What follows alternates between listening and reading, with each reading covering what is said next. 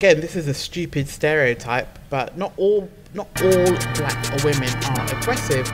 Chinese are not the same as Japanese, are not the same as Koreans, are not the same as Filipinos or Thai or you know Indian.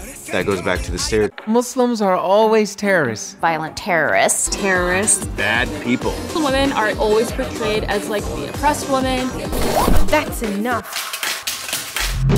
It's about time that we speak up for ourselves. Technologic.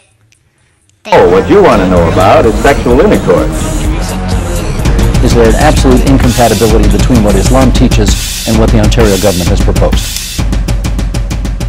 Oh, what you want to know about